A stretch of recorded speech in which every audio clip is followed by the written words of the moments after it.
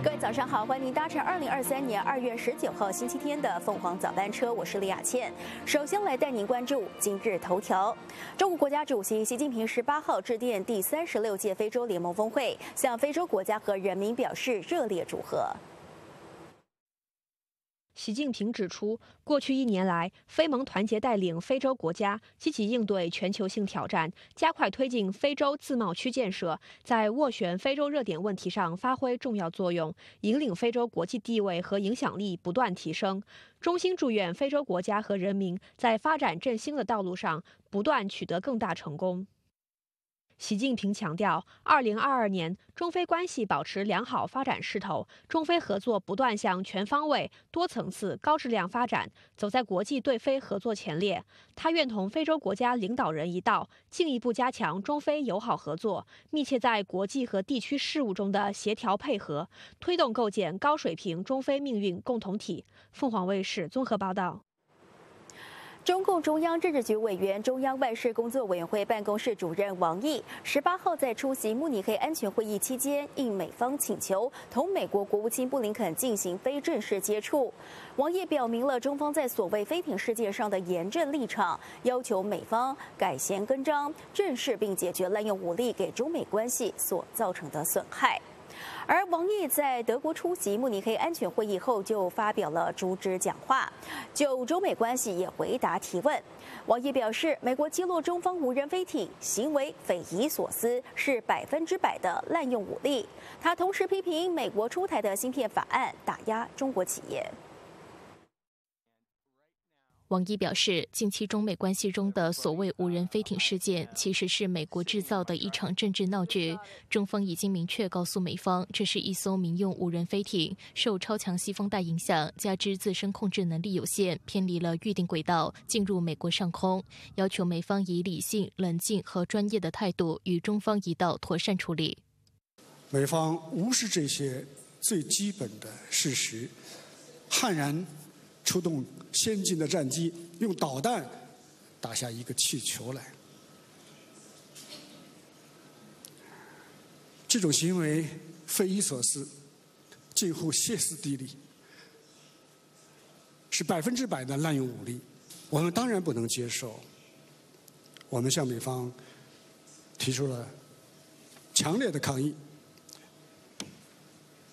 我们这个地球的上空。飘荡了很多的气球啊，各国的都有。难道美国都要把它打下来吗？王毅表示，中方奉劝美国不要再出于国内政治需要，在对外打交道过程中做出这种荒唐的事情，并要求美国拿出诚意，改正错误，正视并解决事件给中美关系造成的损害。王毅说：“美国声称要与中国进行竞争，中国从不怕竞争，但竞争应当是公平、讲规则的。美国出台芯片与科学法案，动用国家力量打压中国企业，这是百分之百的单边主义和自私自利，违反世贸组织规则，严重干扰国际产业链供应链稳定。”中国两千年前就有一句古话，叫做“君子好财，取之有道”。只有小人才去巧取豪夺，但是我们现在看到，美方失去了一切伪装，连巧取都没有了，只剩下豪夺。王毅说，中方要求美方客观公正看待中国的发展，奉行积极务实的对华政策，和中方一道推动中美关系重回健康稳定的轨道。方回视综合报道。王毅在慕尼黑安全会议上表示，为了世界更安全，必须要坚持尊重各国的主权、领土完整。王毅也强调，强权政治、霸权行径扰乱世界安宁，已经成为了国际和平所面临的最大破坏性因素。他因此呼吁中欧携手合作，建设一个更加安全的世界。肆意干涉别国的内部事务，无论编造什么理由。都是对国际关系基本准则的无视和背叛，在台湾问题上违背一个中国的原则，制造一中一台两个中国，无论做出什么样的包装，都是对中国领土完整的严重的侵犯，也是对台海和平的现实的威胁。王毅指出，主权原则是当代国际秩序的基石，中国将坚定遏制分裂干涉的行径，捍卫主权和领土完整。他表示，各国应通过对话协商和平解决争端。中国在乌克兰问题上的方针是劝和促谈，坚定站在和平和对话一边。王毅表示，和平发展不是权宜之计，而是中国从历史、现实和未来的深刻思考中所做出的战略决策。中国深知要发展，就需要和平。安宁的国际环境，就必须同各国和平共处，与世界合作共赢。我们始终高举和平、发展、合作、共赢的旗帜，致力于深化拓展平等、开放、合作的全球伙伴关系。展望未来，和平与发展是潮流所趋、人心所向。有人笃信国强必霸。认为中国强大起来就会抛弃和平发展，但中国已经用事实证明，这条和平发展的道路不仅走得通，而且很成功。王毅宣布，中国将于近期发布全球安全倡议概念文件，为解决全球安全难题提供更系统的思路、更可行的举措，欢迎各国积极参与。王毅指出，建设一个更加安全的世界，当然离不开中欧双方的正确选择。中欧作为多极化进程的两大力量、两大市场、两大文明，双方所做的选择对世界的走向举足轻重。如果选择对话与合作，阵营对立就不会形成。如果选择开放和共赢，全球的繁荣就有希望。这是中欧的共同责任，是对人类和历史提交的共同答案。中欧应当携手为建设更加安全的世界而共同努力。凤凰卫视综合报道。中国在此次慕尼黑安全会议中受到了广泛的关注。中共中央政治局委员、中央外事工作委员会办公室主任王毅表示，中国将在近期发布全球安全倡议概念文件，而为解决全球安全难题提供思路。在俄乌战争爆发一周年的大背景之下，再加上近来的气球事件，中国在本届慕安会上也成为多方关注的重点。全球各国最关心的议题是，中国和美国在本届慕安会上是否会有互动，以及在俄乌战争中中国的立场。中共中央政治局委员、中央外事工作委员会办公室主任王毅在慕尼黑安全会议发表演讲，并接受了慕安会前主席伊辛格的采访，并在这些问题上再次强调了中方的立场。乌克兰的危机不是我们愿意看到的。那么，我们对这场战事在扩大化、长期化，也跟各方一样，我们感到深切的担忧。中国不是乌克兰这场危机的当事者，但是我们并没有袖手旁观，我们也不做火上浇油的事情，我们更反对趁火打劫。中国做的，就像我刚才说的所说的，就是劝和促谈。我们将坚定地站在和平的一边，站在对话的一边。王毅在慕安会期间也进行了多场双边会议，其中也包括东道主德国的总理舒尔茨、外交部长贝尔伯克，就德中关系以及乌克兰问题交换了看法。贝尔伯克在新闻发布会上也表示，希望中国为和平做出相关的努力。Wenn man das ganze Jahr für Frieden arbeitet, muss man jede Chance auf Frieden nutzen. Und wir haben gestern darüber intensiv gesprochen, was ein gerechter Frieden bedeutet. Eben nicht, dass man den Angreifer, den Aggressor belohnt, sondern dass man einsteht für das internationale Recht und für diejenigen, die angegriffen worden sind. Und China ist als ständiges Mitglied im UN-Sicherheitsrat verpflichtet, seinen Einfluss für die Sicherung des Weltfriedens einzusetzen. Und deswegen ist es gut, so wie China auch im letzten Jahr deutlich gemacht hat mit Blick auf die nukleare Bedrohung, dass es eine Verantwortung hat als Sicherheitsratsmitglied. Das ist gut, wenn es eine Verantwortung sieht, für den Weltfrieden einzustehen. Das habe ich in meinem gestrigen Gespräch auch daher deutlich unterstrichen, dass wir gemeinsam für den Weltfrieden einstehen. 凤凰卫视孙谦，德国慕尼黑报道。慕尼黑安全会议十八号进入第二天，俄乌战争仍是主要议题。乌克兰外长库列巴向与会各国呼吁，为乌克兰提供武器，并强调保证速度及可持续性。而美国国务卿布林肯则表示，与会多国对乌克兰的声援和支持，比起以往更加强烈。美国国务卿布林肯、乌克兰外长库列巴、德国外长贝尔伯克十八号在德国出席慕尼黑安全会议，并进行小组对话。布林肯表示，普京发起的战争对俄罗斯造成了伤害。一年不到的时间，俄罗斯在乌克兰战场的伤亡人数已经达到约二十万。尽管如此，乌克兰仍会是胜利的一方。We have no doubt at all about Ukraine's victory and success, and there's a simple, powerful reason for that. um, irrespective of anything else, including the support that we're providing. The biggest single difference is that Ukrainians are fighting for their own country, for their future, for their land. The Russians are not. 不过，库列巴也再次请求西方各国提供武器。Ammunition, uh, artillery, and tanks. 贝尔伯克则表示，包括德国在内，各盟国正在加紧建造新的弹药生产线，希望能在六月前填补弹药的空白。结束小组讨论后，布林肯还单独与库列巴进行会谈。布林肯向库列巴指出，与会多国对乌克兰的声援和支持比以往更加强烈，各国将尽可能协调向乌克兰提供安全、经济、人道主义等支持。库列巴则强调，当前最关键是提供武器的速度和持续性。Now we're preparing to go into the battle with everything that we need to liberate our territory and prevail. And therefore, key words for this year, 2023, is speed and sustainability, speed of delivery and sustainability of supply. These are the things where, uh, these are the issues on which cooperation with the United States becomes absolutely indispensable.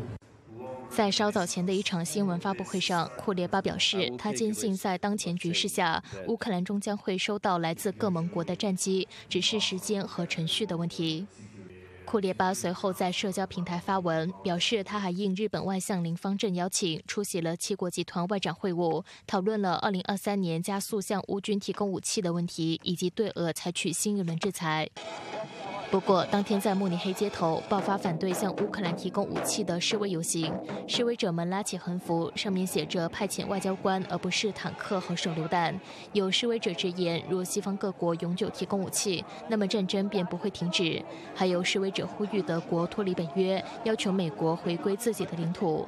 当地警方预计有约一万人参与此次示威游行。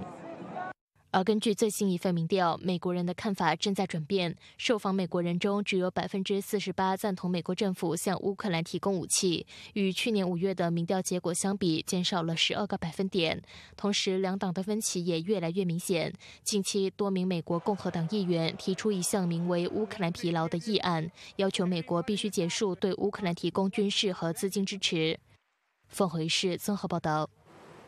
好，报纸焦点，我们继续来关注的是来自于大公报的报道，指俄乌战争即将届满一周年之际，西方各国在慕尼黑安全会议上进一步的刺激俄乌紧张局势。德法两国领导人就呼吁要加大对乌援助。有分析就指，西方各国持续军援乌克兰已经快一年的时间，武器库存消耗极快，这对于美国庞大的军工复合体无疑是个天大的好消息。美国大幅的增产军火，除了提供给乌克兰之外，还有相当大的一部分。就是欧洲盟友的订单了。而根据统计，截至去年十二月，欧洲国家就和美国军火公司签订了超过一百五十亿美元的订单，还有接近三百亿美元的意向订单。更多新闻马上回来为您报道。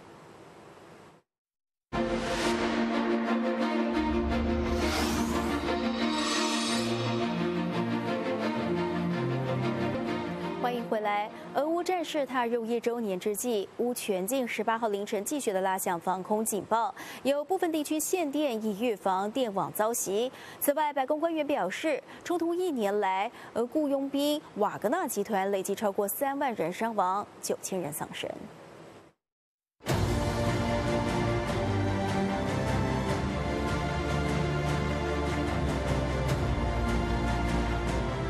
乌克兰全境十八号凌晨拉响防空警报，东部及南部部分地区实施限电，预防电网受到袭击。乌军总参谋部通报，俄军过去二十四小时累计发射十枚导弹、二十九次空袭、六十九次火箭炮袭击。而俄军在顿涅茨克、卢甘斯克、哈尔科夫二十多处定居点发动的攻势都遭乌军击退。乌军当天还成功打击了俄军三处临时基地，并击落六架俄军无人机。据地区官员通报，乌西部赫梅利尼兹基市十八号上午发生两起爆炸。南部尼古拉耶夫州长则表示，俄军从黑海方向向乌领土发射六枚口径巡航导弹，至少一枚遭乌防空系统拦截并击落。乌东卢甘斯克州长盖达伊表示，俄军正从地面和空中加强攻势。他在谈及克里米纳市周边的战斗时指出，俄军不断试图突破防线，各方向都相当艰难。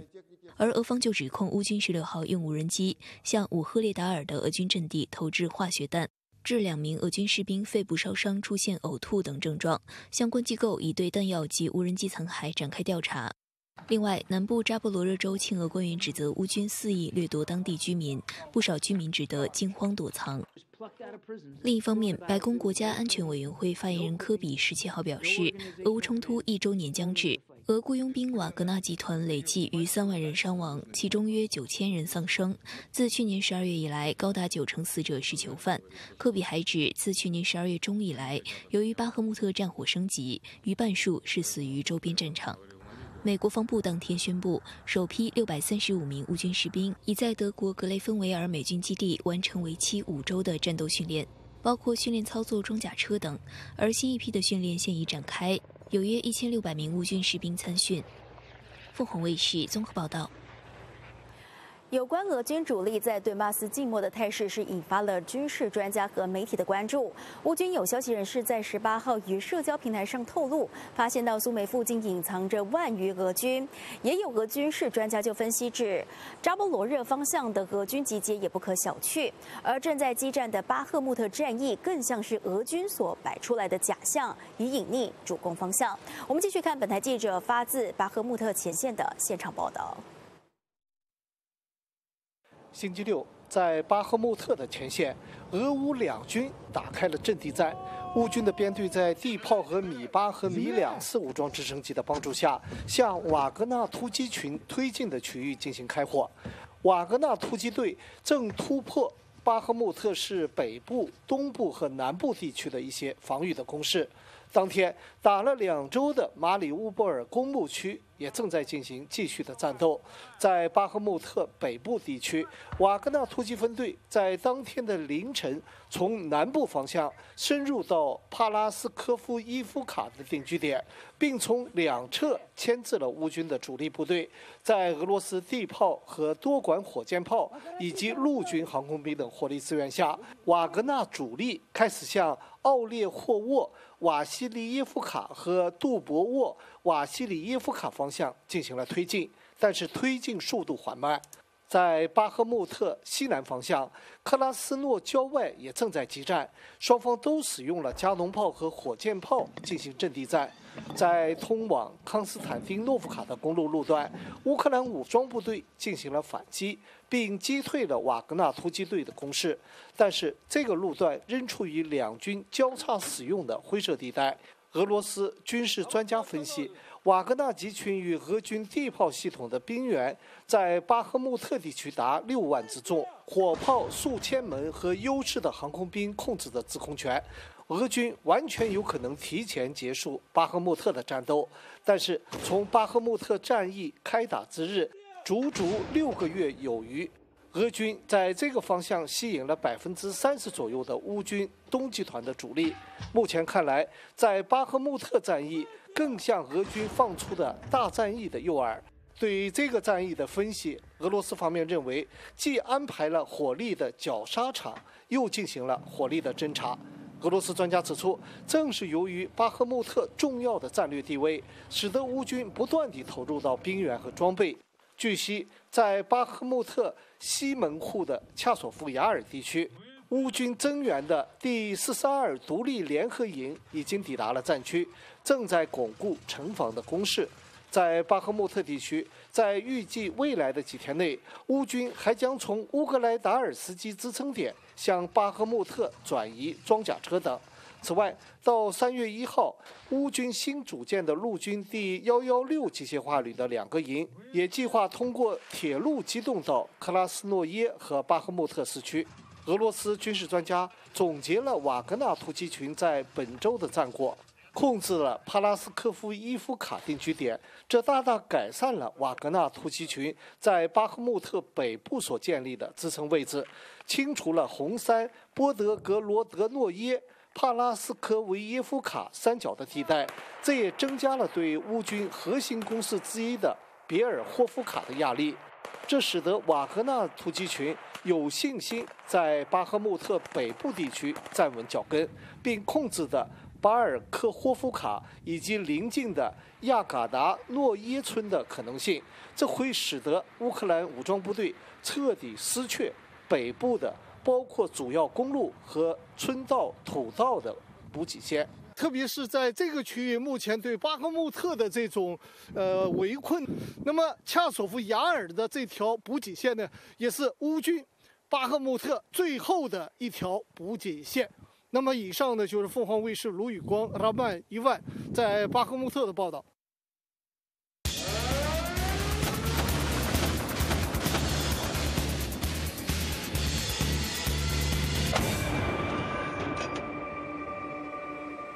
俄乌战争持续，即将届满一年，欧洲社会是深受影响。不同国家基于本国利益和地缘政治的因素，一方面对待俄乌两国的态度不一样，而另一方面也都不同程度的显露出了厌战情绪。继续看本台记者发自伦敦的俄乌之战一周年系列报道。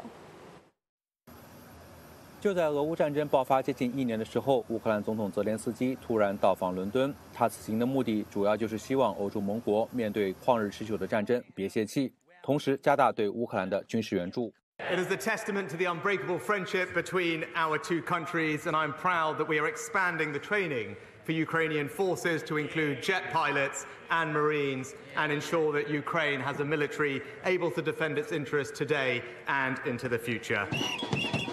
但进入新的一年，基层行业罢工示威不断。有参与者认为，面对经济颓势，政府应该将更多的财政开支用于公共服务部门的需求。I think that all public sectors need a pay rise, um, because we can't afford food, we can't afford to pay our bills. I I don't have money. I even don't have the money to increase the defense budget. They need to get the rich to pay their tax, and then we'll have enough money. 和英国人相比，丹麦人对于这场旷日持久的战争产生的厌烦情绪更强烈。在哥本哈根，丹麦当地工会在二月五号发起了近十多年来最大规模示威，反对政府取消复活节后的第四个星期五，也就是大祈祷日的公共假日，以增加国民生产总值，进而确保国防开支占国内生产总值的百分之二。从去年至今，不同民调显示，多数斯洛伐克人支持俄罗斯。只有百分之三十三的保加利亚人和百分之四十五的匈牙利人将俄罗斯视作威胁。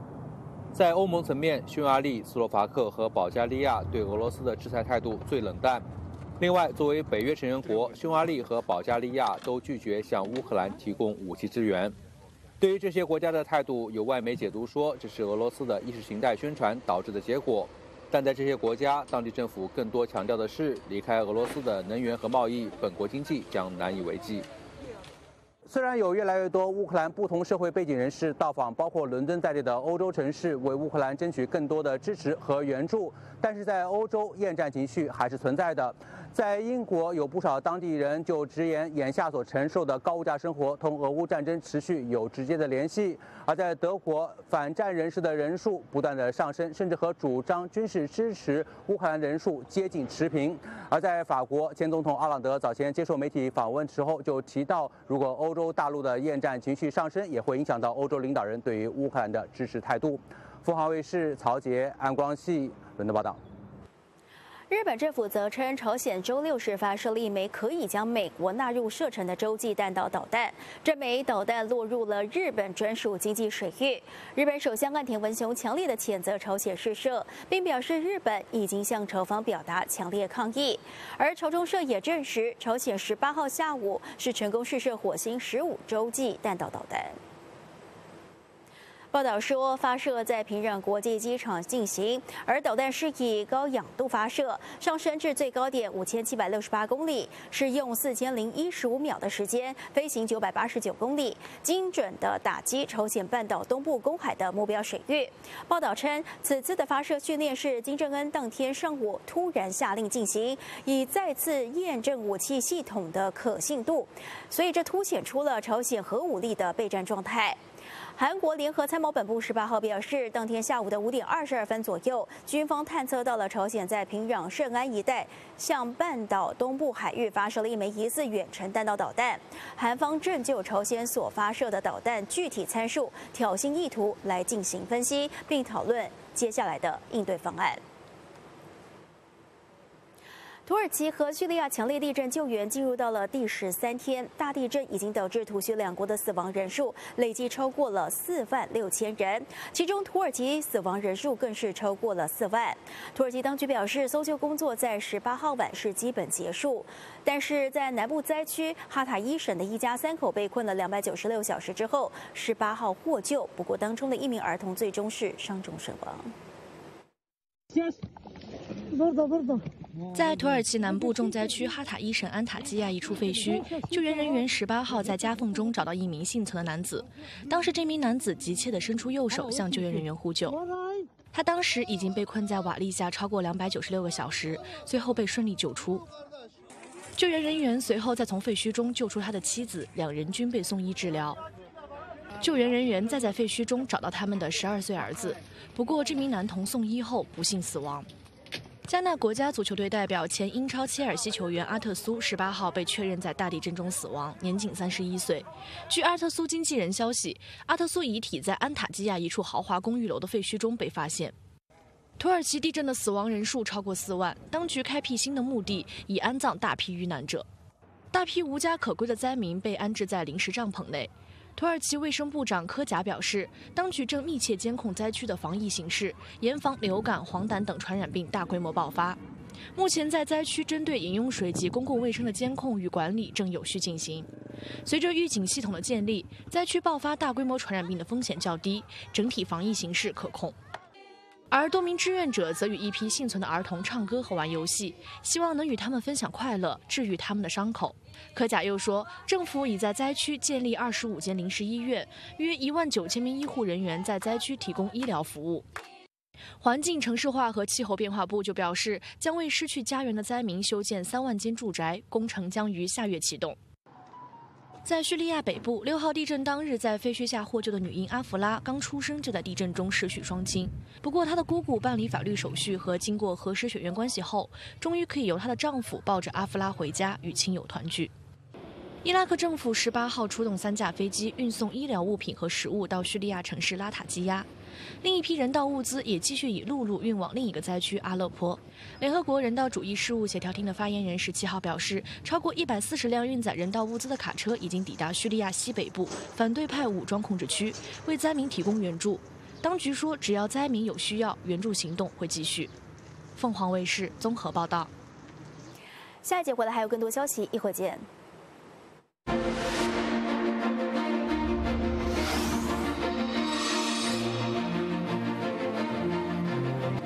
欢迎回来。台北市政府邀请的上海市参访团一行，十八号是抵台展开三天的访问行程，也是疫情后首度有大陆官员到台湾访问。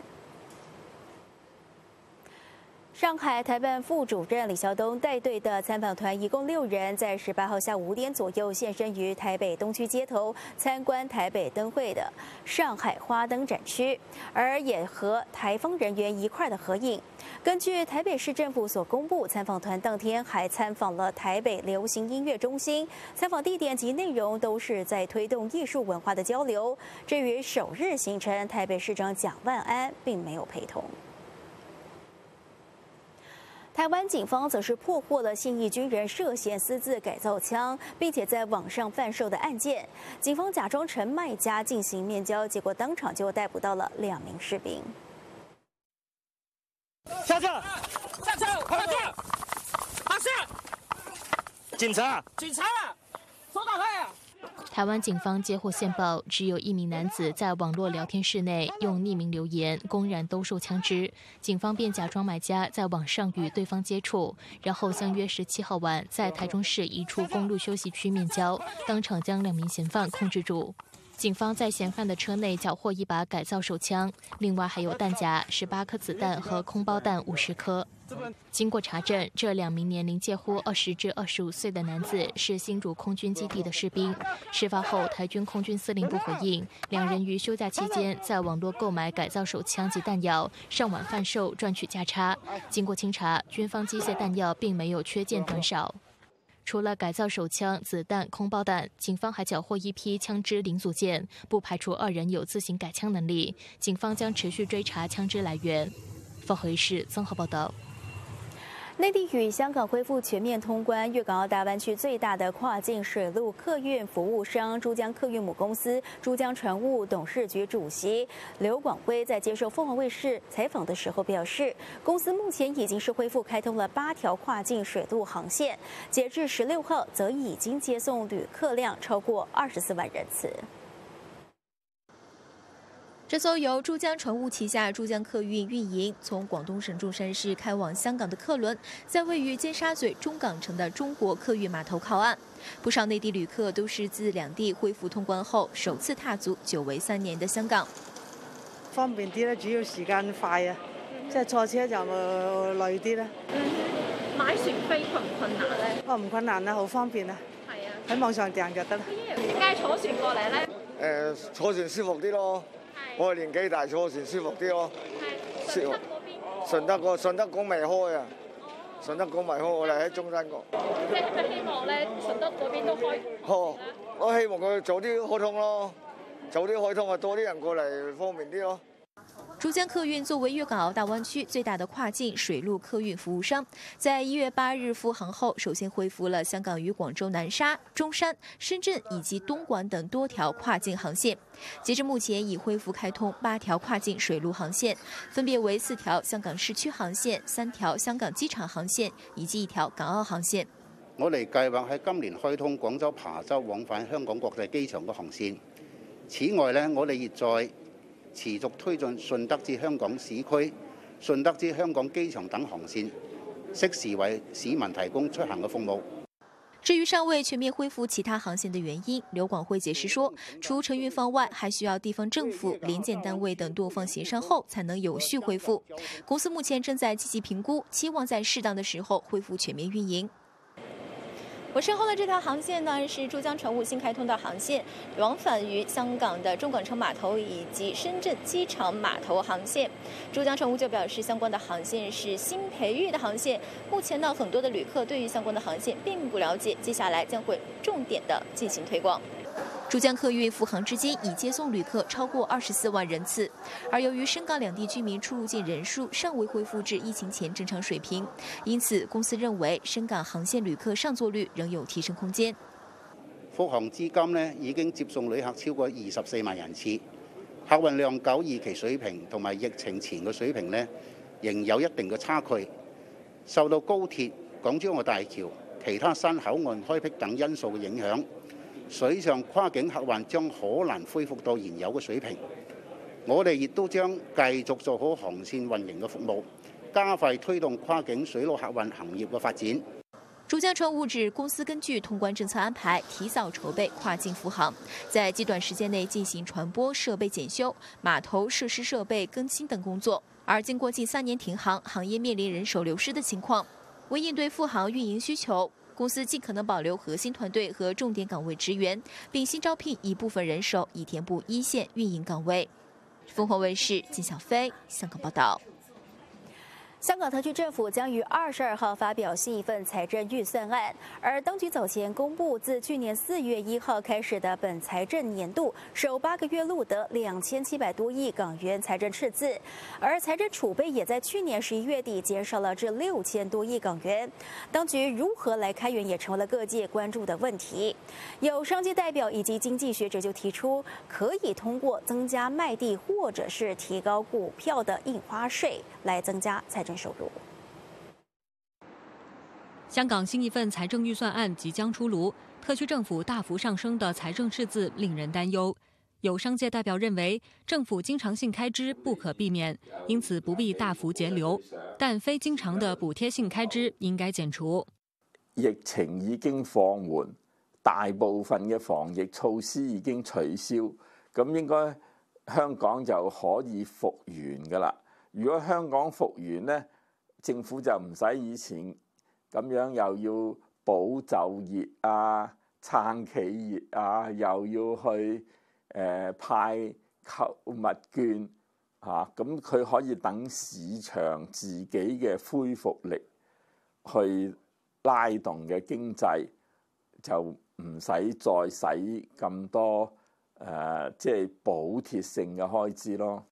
雖然不必勒緊褲腰帶，但面對持續減少的財政儲備，開源是必要之舉。施永青建議當局增加出售土地，在獲得財政收入的同時，也有助增加私營房屋供應。話未有地啊？點啊？诶、可以诶、呃、買啲叫做認地權證，未有啊預訂啊，我下一批土地要用認地權證。嚟投嘅，你而家即收，冇地都即收啊！啊，啲發展商就會儲定噶啦。也有經濟學者認為，當局可考慮增收對市民影響較小以及比較間接的稅種比率，例如股票印花稅。買股票印花税相對佢嗰個利潤啊、成本啊，其實就相當之少啊。嚇，咁第二咧就係香港股票嘅交投咧，其實大部分都唔係話香港人去買賣嘅。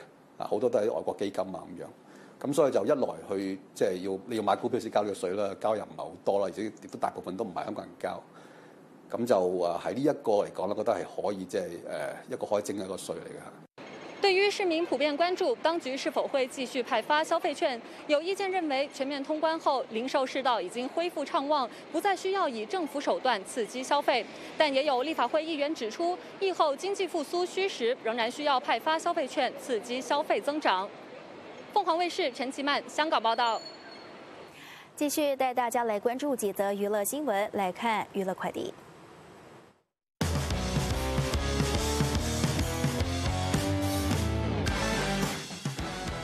韩国三十七岁男神宋仲基去年底与英国前女友 Katie 高調認愛後，上月底惊喜宣布已经结婚以及太太怀孕的喜讯，有指预产期会在今年八月份。他日前前往匈牙利拍摄电影，是婚后两夫妇首度公开亮相。宋仲基以一身悠闲打扮示人，怀孕中的 Katie 穿上黑色毛衣及黑色裙子，腹部微微隆起，手脚仍然纤瘦。手抱爱犬的她手上的婚戒非常醒目，沿途更获丈夫悉心呵护，非常甜蜜。新晋导演贾勝峰首次执导的电影《流水落花》，郑秀文也凭电影第十次获香港电影节金像奖最佳女主角提名。你知而家提名埋金像獎啦，係咪都有冇信心啊？自己都嗯，問心啊，係。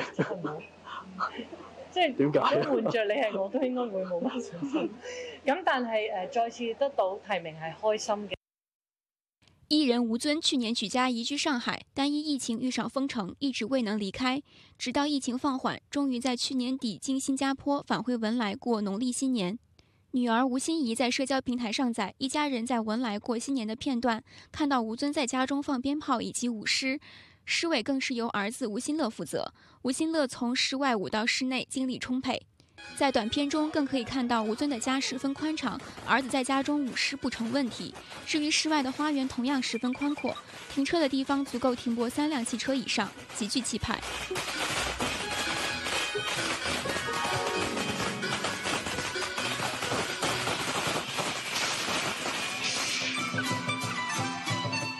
凤凰卫视综合报道。下一节回来还有更多消息，一会见。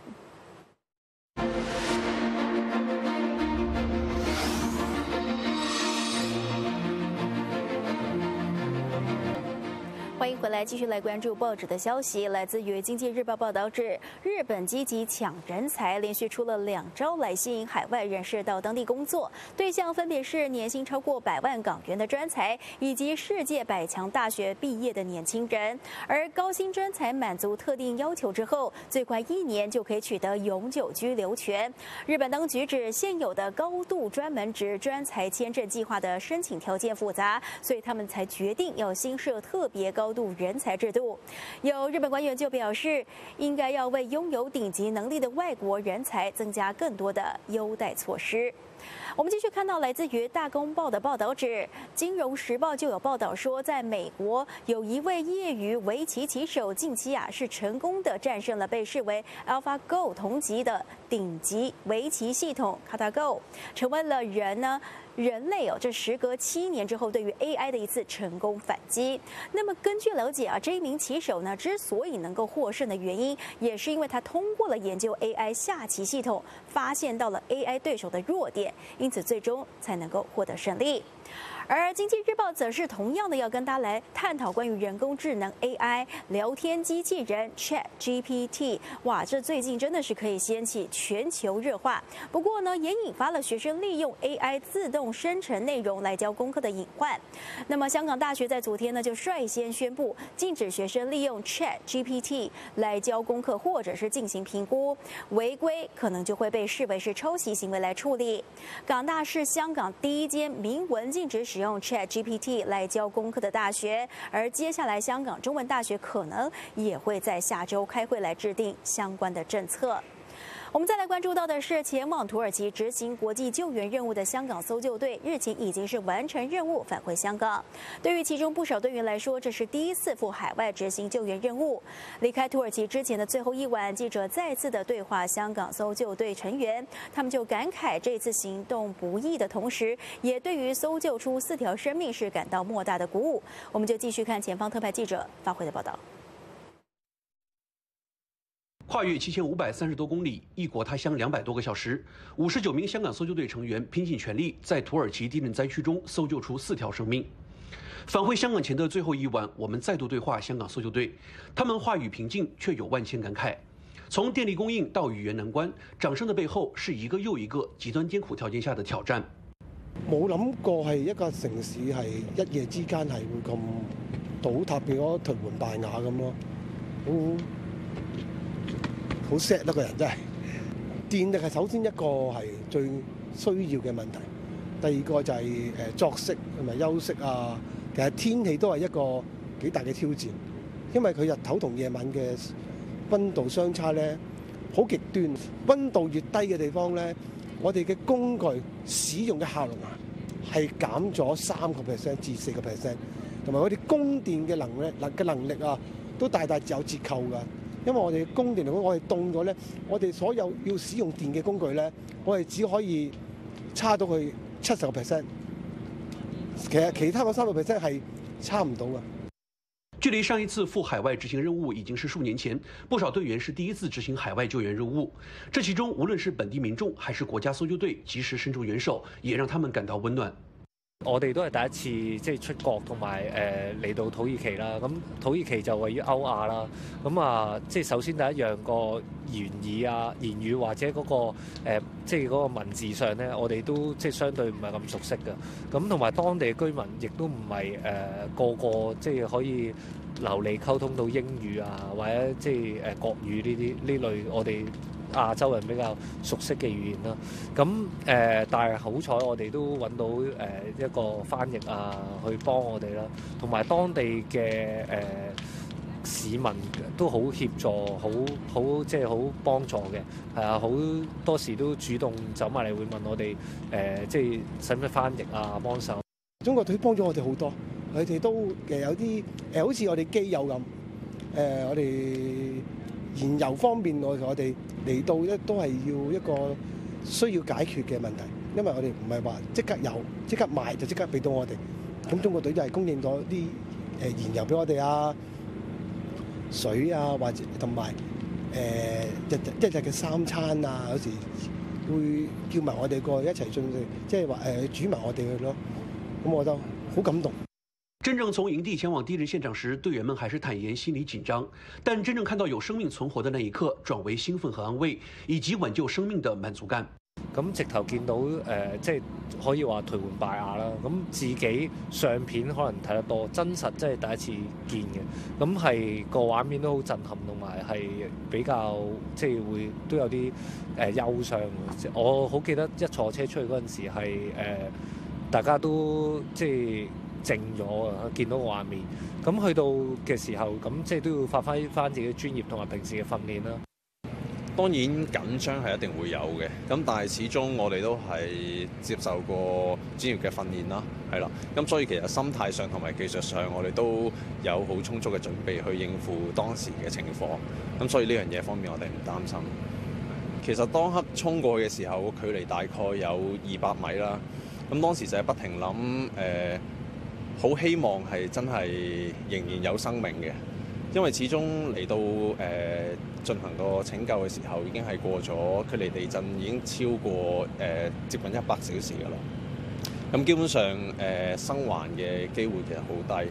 咁所以當聽到當地人有咁大嘅反應，叫我哋去幫手嘅時候，其實係心入邊係好緊張，好希望係真係仍然有生命跡象嘅。咁當然啦，誒去到最後，我哋接觸到嗰幾個被困嘅人士嘅時候，見到佢哋仲有生命跡象，我哋其實心入邊都好亢奮、好雀躍，好想將佢哋安全地移離佢哋嗰個位置，送上去救護車。香港坍塌搜救專隊的成員佔了這次搜救隊的大多數，他們平時分散在香港的各個角落，每次緊急調派組成小組趕赴災區。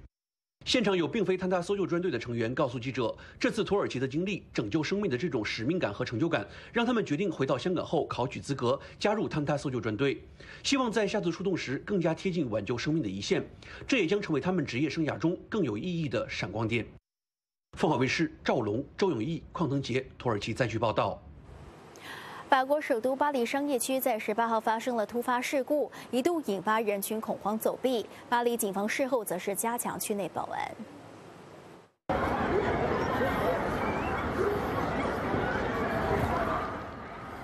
事发在巴黎西部的拉德芳斯商业区，网上视频可见，有大批群众是争相奔跑逃离商业区的广场，情况可说是一片的恐慌。巴黎警方一度发推呼吁民众避免前往到相关地区，并派人封锁一个购物中心的外围区域。警方发言人其后就表示，主要是一名男子跳楼自杀，引发了民众短暂恐慌，并否认有传出枪响。巴黎地区过去曾经发生了多次恐袭，也导致民众有戒备心。台，感谢搭乘凤凰早班车，我是李雅倩，我们再会。